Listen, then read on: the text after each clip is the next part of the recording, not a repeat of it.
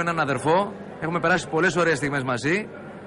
Ποδοσφαιρικές, στην κερκίδα των γηπέδων, σε πολλά σημεία, φιλικά και όχι μόνο. Είναι ο Γιώργος Αμανατίδης, μια ψυχάρα των γηπέδων που αποφάσισε αυτή την ψυχή του να τη δώσει και θα μας εξηγήσει την απόφασή του αυτή και στην τοπική αυτοδιοίκηση στον Πειραιά. Ε, καταρχήν είμαστε εδώ για να στηρίξουμε έναν άνθρωπο ο οποίος είναι ιδιαίτερα αγαπητός σε όλους μας. Ένας άνθρωπος που είναι καθόλου έντιμος, με ένα πολύ σωστό προφίλ, ε, ιδιαίτερα ευαισθητοποιημένος σε όλα τα θέματα. Το έχει δείξει άλλωστε όλα αυτά τα χρόνια ε, από τη στιγμή που ήταν ο νομάρχης του, του Πειραιά.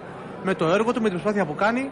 Είμαστε εδώ για να τον βοηθήσουμε, να τον στηρίξουμε όσο μπορούμε. Γιώργο, αν εσύ κατέβεις τελικά με το Γιάννη το Μίχα Ναι.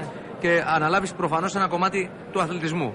Λο- ε, Δεν είναι λογικό, Πολύ ας λογικό πούμε, είναι, να, μα- να βοηθήσω με τις γνώσεις μου, με την εμπειρία μου σε Πολύ. ένα τέτοιο κομμάτι το οποίο το ξέρω. Δεν θέλω εγώ να μπλέξω με κάποια πράγματα τα οποία δεν τα ξέρω. Ναι, για μένα είναι πάρα πολύ σημαντικό το κομμάτι. Ναι. Με, με ποια έννοια και να μου πεις αν είναι κάπου εκεί στη σκέψη μου και ένα όραμά σου ενδεχομένως. Δηλαδή, ο Πειραιάς να γίνει μια ακαδημία ολόκληρη απέραντη ποδοσφαίρου, αθλητισμού καταρχήν και όσοι ξεχωρίζουν στο ποδόσφαιρο ποδοσφαίρου και να φύγουν έτσι τα νέα παιδιά από έκνομες, από παράνομες συμπεριφορές και δραστηριότητες που τα οδηγούν σε ναρκωτικά. Αν θέλεις να μιλήσουμε τη γλώσσα της αλήθειας, έτσι. Βέβαια. Σε ηλεκτρονικά, σε εξαρτήσεις, σε, σε διάφορα πράγματα τα οποία είναι Να μην πάμε Δημήτρη μόνο σε αυτά τα άσχημα πράγματα που λες, που έχεις απόλυτο δίκιο.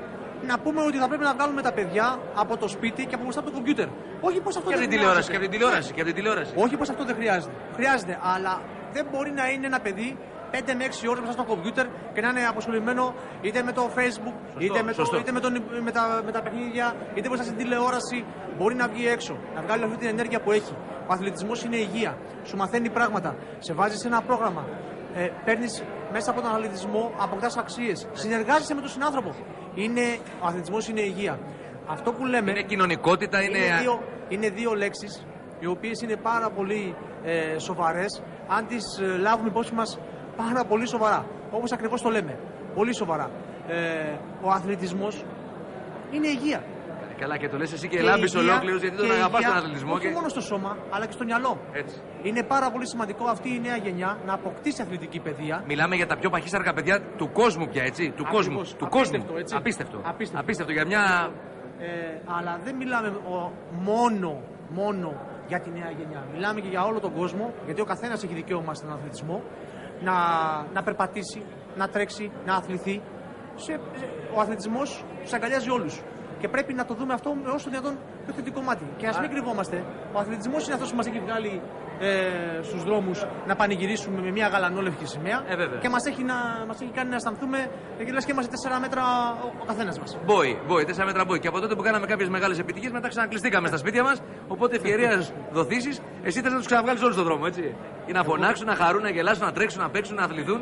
Εγώ πραγματικά αυτό που με Αυτό είναι το ενδιαφέρει ράμα σου. είναι να στηρίξουμε αυτή την ιστορία, που, αυτή την προσπάθεια που κάνει ο κύριος Μίχας. Πραγματικά μου έχει εξηγήσει πάρα πολλά πράγματα για το πώς τα βλέπει. Ε, θέλουμε από αυτά τα, τα πράγματα που λέει, αν μπορούμε να κάνουμε τα μισά, μισά. θα είμαστε υπερευχαριστημένοι και πιστεύω ότι και ο κόσμος θα, με όλα αυτά που θα δει σε πράξη ε, θα είναι ενθουσιασμένος. Καλή επιτυχία να κατέβεις. Να είσαι καλά. Ευχαριστώ, Σε Δημήτρη. αγαπάμε και σε στηρίζουμε. Και σε Ευχαριστώ. υποστηρίζουμε. είστε Όπως σε καλά. υποστηρίζαμε στα γήπεδα και φωνάζαμε το όνομά σου, τώρα μας έκανες να βγούμε στον δρόμο να το φωνάζουμε με πλακάτ και με πανό να